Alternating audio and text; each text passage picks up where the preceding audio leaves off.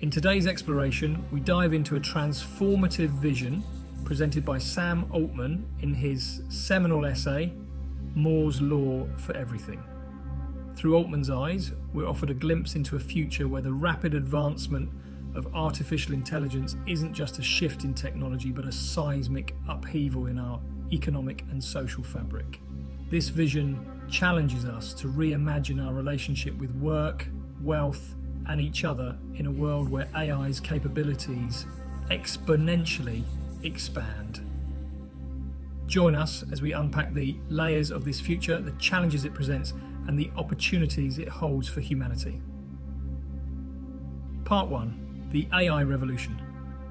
Altman begins with bold assertion the AI revolution is not only imminent but will redefine the essence of human capability our ability to think, create, understand, and reason.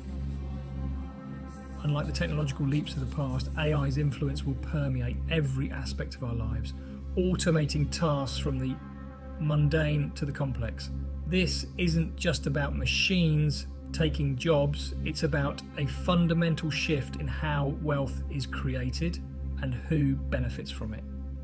The AI revolution promises to unlock new forms of wealth and opportunity, but only if we're prepared to navigate the ethical and economic quandaries it presents. Part 2 Moore's Law for Everything. Drawing inspiration from Moore's Law, Altman extends the principle to predict a future where not just computing power but everything becomes more efficient and less costly. Imagine a world where the price of housing, education, healthcare, and even food drops exponentially thanks to advancements in AI and automation.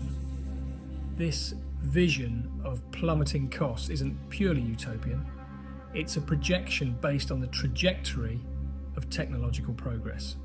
However, this future hinges on our ability to adapt our economic models to ensure that the benefits of such technological abundance are widely distributed rather than concentrated in the hands of a few. Part 3 Capitalism for Everyone. Altman's solution to the potential disparities wrought by AI is as radical as it is compelling reforming capitalism itself to ensure that everyone benefits from the wealth AI generates. This involves taxing the assets that will hold the most value in the future, namely companies and land, and redistributing this wealth to all citizens.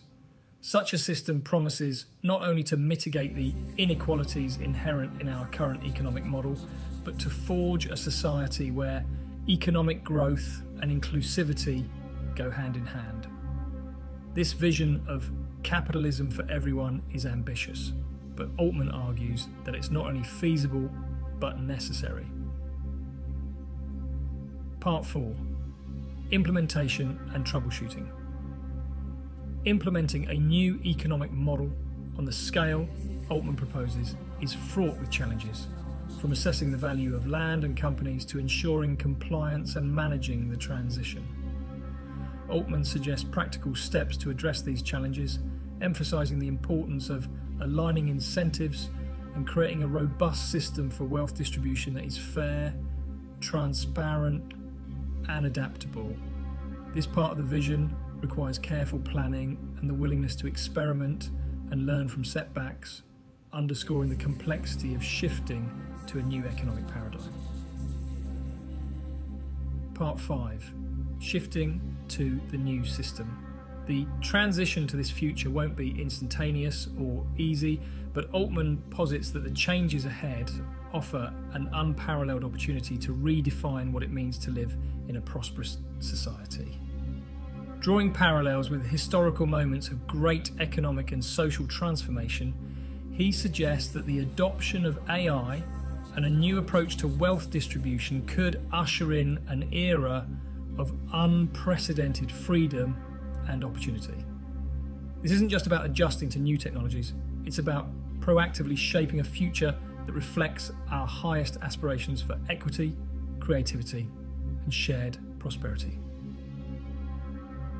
Conclusion Sam Altman's Moore's Law for Everything challenges us to envision a future that is radically different from our present, yet within our grasp.